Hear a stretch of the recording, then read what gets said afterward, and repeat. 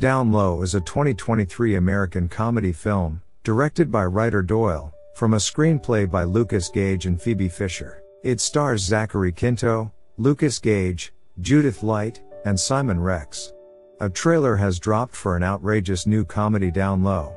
Gary, who's approaching 50, hires Cameron, a boundary free sex worker to give him an erotic massage, which it turns out is his first intimate experience with a man. It turns out Gary was married and had two kids. He spent his whole life trying to conform to what his wife and kids needed him to be, but recently, when he finally came out as gay, they divorced, and he hasn't spoken to his kids since. The two men then go on a wild adventure over the course of a day as Cameron tries to teach Gary about being gay in 2023. This includes signing up for dating apps, although Gary's first encounter doesn't exactly go to plan. The man trips, falls out of a window, and dies. From there, things get more wild as the two men try to dispose of the dead body using a friend from the dark web. Down Low is an outrageous comedy about one wild night, a deeply repressed man, the uninhibited young man who gives him a happy ending, and all the lives they ruin along the way.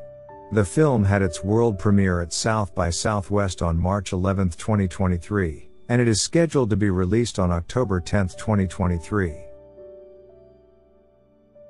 Thanks for watching this video. Make sure to subscribe and turn on notification.